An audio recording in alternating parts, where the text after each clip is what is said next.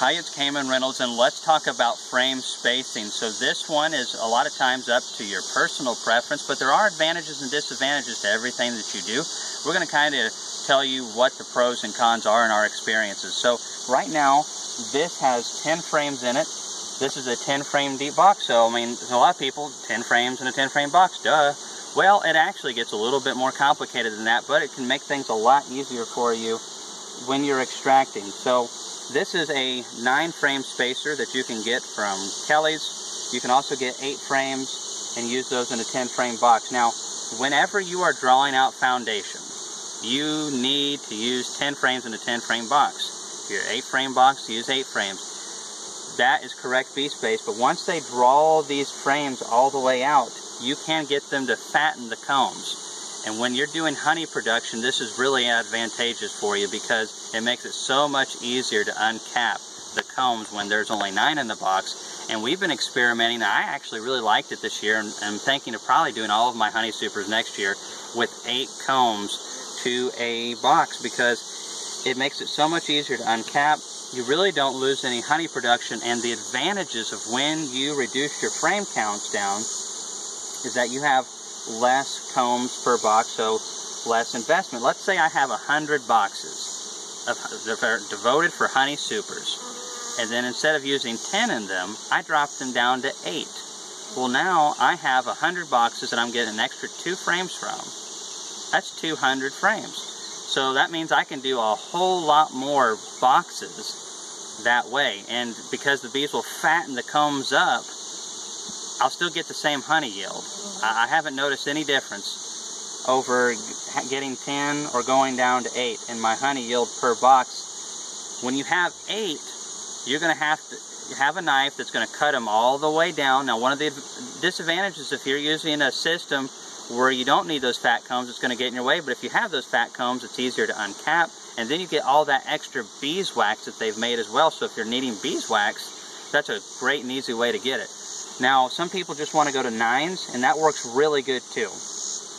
I'm still not 100% sold on eights, but it's so nice to be able, like I said, if you have 100, which we've got a lot more than that, and you're reducing those down to eight, and you get two extra frames per one, then you have a lot of extra boxes that you can use for more hives. So basically, what we're going to do is reduce this one down to nine because also, it's not just for honey supers, many beekeepers for, for decades and decades have once they've drawn out, the bees have drawn out all 10 frames, they will reduce them down to 9 so you get one extra frame and it makes it a lot easier to pull frames out when you only have 9 to a box.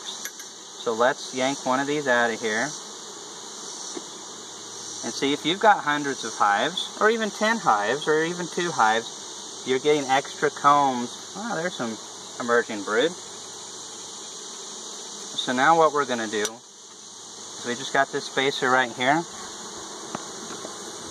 And this works just fine for brood. There are some people that will tell you that if you use 9 frames in a 10 frame box, you're doing your bees a disservice. I know several people who are getting onto this kick on 11 frames in a 10 frame box is better for your bees. You know, the only thing I've ever noticed is if you've got a great queen and they are clean of mites and disease, they do very well.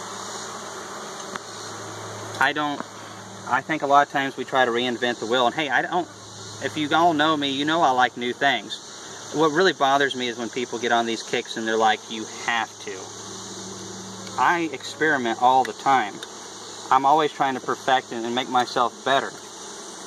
But we also have to be realistic. And if you give me a good, really good mated queen, and you give me some combs, and you give me a decent nurse bee population, and and I get some good nutrition coming in or I feed them good nutrition, I'm going to show you some honey. All right, that's it right there. That is now nine frames in that box. It probably could all shift over a little bit more this way. But that's not going to hurt the bees whatsoever. Now, I wouldn't probably do this towards winter time because they're not going to have a chance to, to widen those combs up a little bit and that could make a little bit of difference. It might not. If you got a good cluster, probably won't. It's better to do this in the spring and summer when the bees um, are brooding and all that kind of stuff. But you don't have to. If you want to keep 10 in there, that's fine. But now we can take that frame, shake those bees back in there, and give that to a, a split. But think of it, think of it this way, and this is what we do sometimes. What if we were to go through all of these colonies in this yard and do that to all of our boxes? Just think how many, many frames we have extra.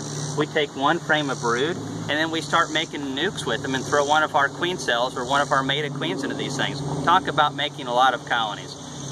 So you don't have to do this. This is just one way to do it, but you can get these things right here. And they're nice stainless steel and they'll last a long time from Kelley's and most other um, stores. We're going to leave a link below where you can find some of these things. Thanks for watching our video.